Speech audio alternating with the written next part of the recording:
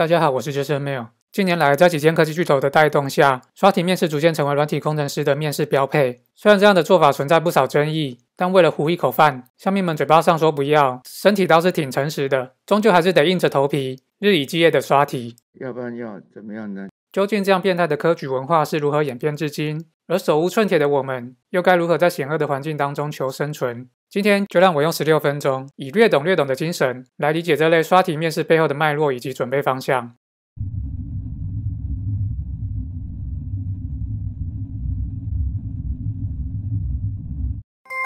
本列车开往个人心得，沿途停靠，准备方向，资料结构，演算法。JSONMail 祝您旅途愉快。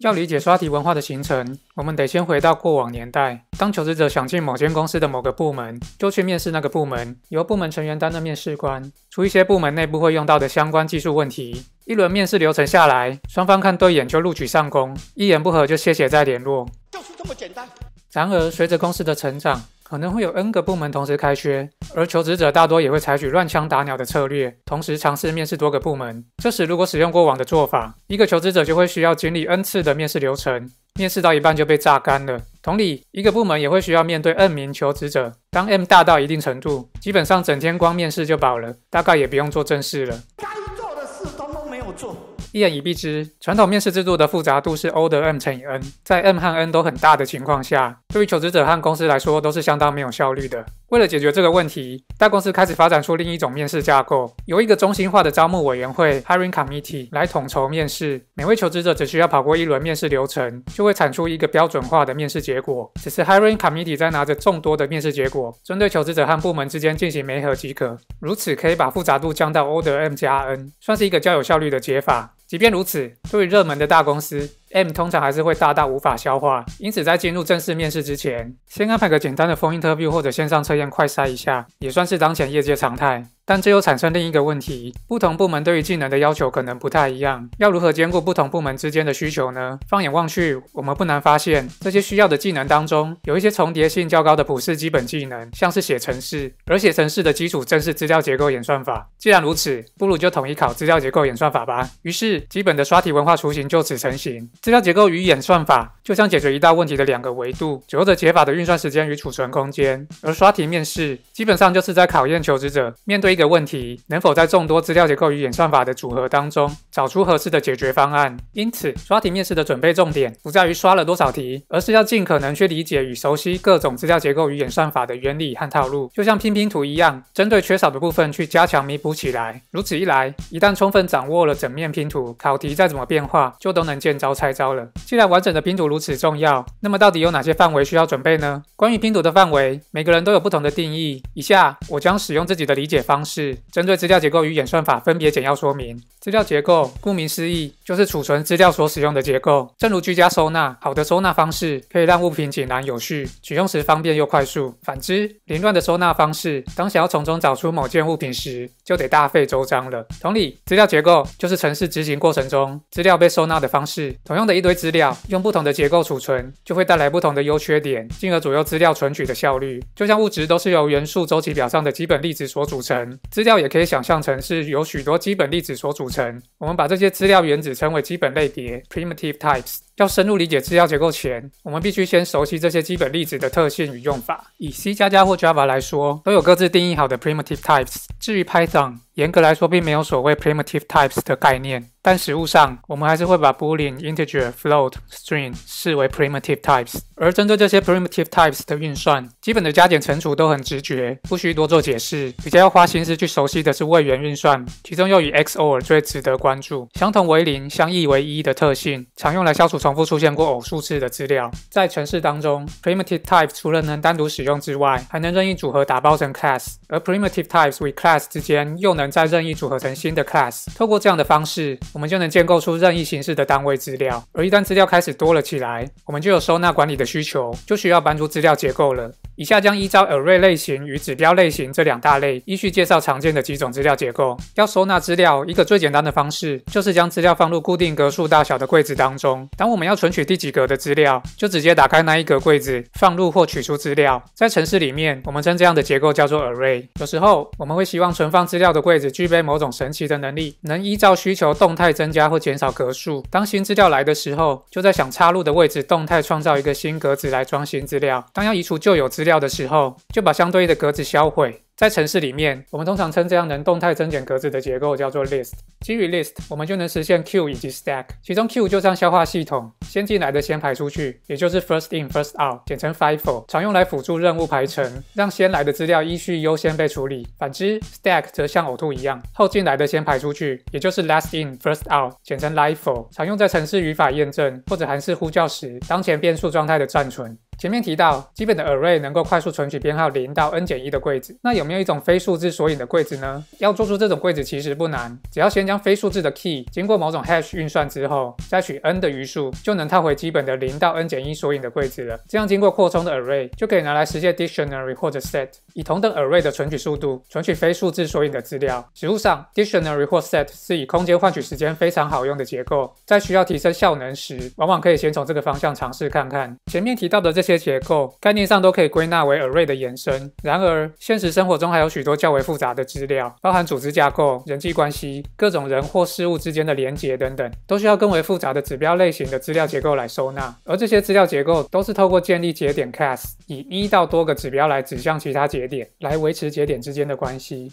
Linked list 是这类指标结构当中最单纯的一种结构，由一个节点串联到下一个节点，以此类推。Tree 则更进一步，有一个根节点向下延伸一到多个子节点，再延伸下去，就像一棵树的树枝不断分叉出去。Tree 有许多变形，在此举其中两种实用的 tree 结构作为例子说明一下。Heap 是一种能快速取得最大或最小资料的 tree 结构，透过巧妙的插入与删除规则，总是能让整棵树当中的最大或最小值维持在根节点上。Try 是一棵字典树，常用来解决 prefix 相关的应用问题，像是搜寻的 autocomplete 或是拼字错误检查等等。相较于 linked list 和 tree 在节点上有某些规则要遵守，graph 则完全没有任何限制，任意节点之间都能任意互相连接，因此节点之间可能形成环，或者一个子节点可能会对应到两个副节点等等，关系再复杂都能套用。总而言之，资料结构大致可以依照 array 和指标为主轴，各自发展出许多实用的结构。熟悉这些结构的原理与特性，我们就能针对不同特性的问题，灵活挑选合适的结构来存取资料，辅助演算法做最有效率的运算。演算法广义来说，就是解决一道问题的方法。例如老旧建筑的都更问题，正规演算法就是找地主户们逐一沟通，这通常得花上数十年的时间。换一套演算法，也可以想办法让它变成围楼，马上就能都更。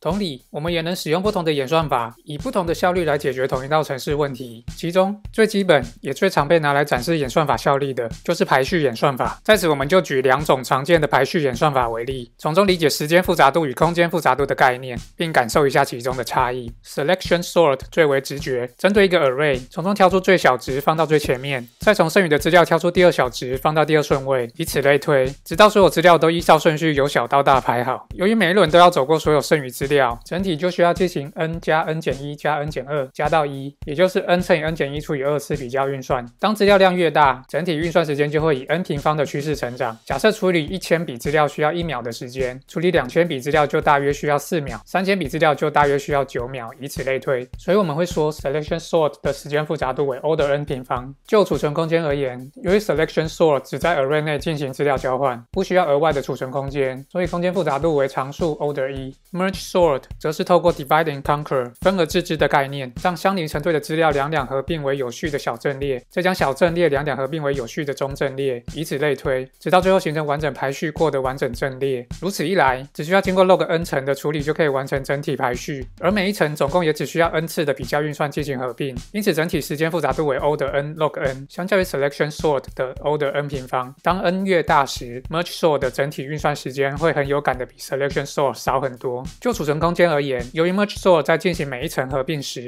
都需要额外配置 n 个储存空间来存放上一层合并的结果，因此空间复杂度就是 O(n)。也就是说，如果我们只有两种演算法可以选择，在一般情况下，考量时间复杂度，我们可能会选用 merge sort 来节省运算时间。但如果是在记忆体很小的装置上，考量到空间复杂度，也许 solution sort 才是能让程式顺利运行下去的好算法。而除了以上两种排序演算法，其他几个有名的排序演算法，也都是 phone interview 当中常见的考题，建议都都能花时间稍微略懂一下。针对排序过后的 array，要寻找其中一笔资料的位置就容易多了。我们只要拿目标去比对位于中间位置的资料，如果比它大，就只需要再找右半边；反之，就只要再找左半边。以同样的逻辑，每次少掉一半的搜寻量，我们就能在 order log n 的时间内找到目标位置。这就是著名的 binary search 二分搜寻演算法。有时候，当我们需要穷举多笔资料的排列组合，就需要用到回溯法 backtracking，将某一种排列可能展开深入处理，然后回复原状，再逐一展开下一种可能，以此类推。再有时候，当一个问题能被分而治之，divine conquer 为子问题时，我们就能用动态规划 dynamic programming 的技巧，有基本条件不断迭代上去，形成最终答案。这样做的精髓，在于把子问题的计算结果都给 cache 记录下来。当计算过程中重复遇到同一个子问题时，就不需要花时间全部重算一次。其中又有 top down 以及 bottom up 两种解题方向。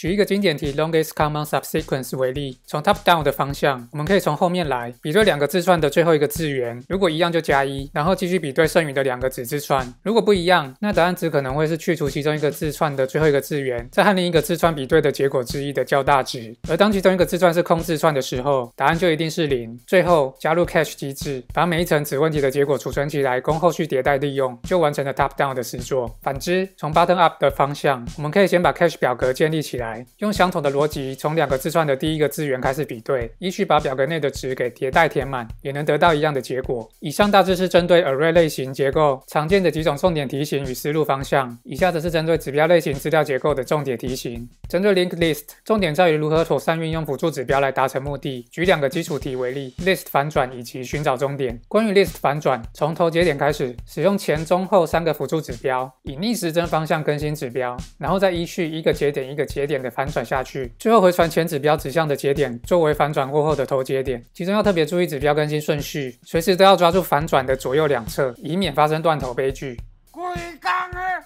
寻找终点则需要一快一慢两个辅助指标，让快指标以两倍于慢指标的速度前进，直到结尾，最后慢指标就会处于终点位置了。这样快慢指标的想法也能用在侦测回路或者其他变形题当中。针对 tree 必须熟悉的基本功则是访问节点的方式，包含深度优先搜寻 DFS 以及广度优先搜寻 BFS。深度优先搜寻 DFS 就像是一条绕着树外围走一圈的路径。以 binary tree 来说，有时要在往子节点走之前先做点事，叫做前序便利 （pre-order）；有时要在子节点之间做点事，叫做中序便利 （in order）；有时则要在走完子节点之后才做点事，叫做后序便利 （post-order）。不同的便利方式就会得到不同的节点处理顺序。广度优先搜寻 BFS 则是一层一层的分层依序处理节点，实作上是把当前节点的子节点依序塞入 Q 的结尾，再从 Q 的头部依序取出节点来处理，直到 Q 空了为止。基于这种一层一层向外扩张的特性，通常我们要寻找最近节点或两节点之间的最短路径，就会使用 BFS。而针对 Graph，甚至是二维或多维的 Array，也都能以相同的方式去游走在节点之间，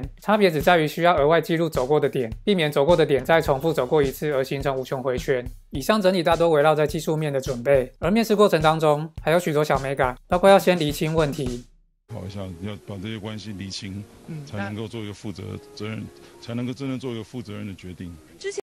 或是先提出一个能动的解法，再来想办法优化。我说，那是不是有更好的方式能够来处理这问题？大家都可以提出来。或是解题过程中，试着把想法大声说出来，讲出来。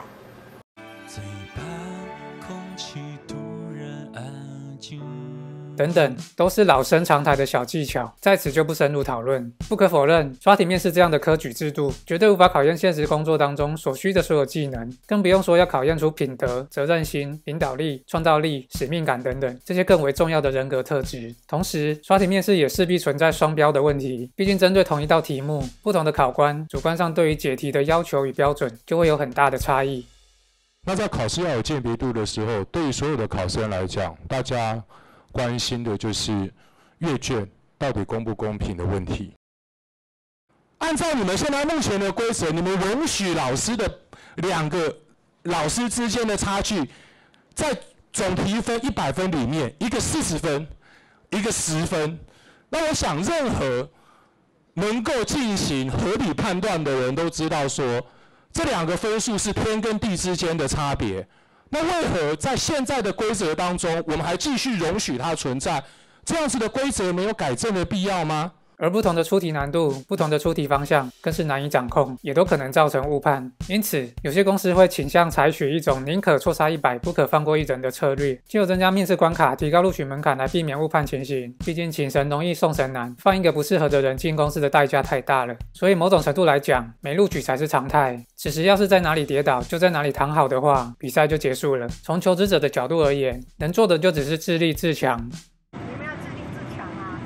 尽可能的把完整拼图给刷好刷满。人性本贱，总是在失去后才懂得珍惜，总是要被电过才开始努力。所以没事多面试，多面试没事，也是一个让自己认清现实，进而采取行动的可行做法。反正面试不用钱，借由多方的实战面试，测出自己所缺乏的部分，持续加强努力，在遭受打击与反省加强的循环过程当中，他失败了，他又起来了，失败又起来。好，这个失败是很常见。自己的能力与视野势必也会逐渐提升，对自我职压发展总是有益无害。最后祝大家面试顺利，满手 offer，录取心目中的理想职位。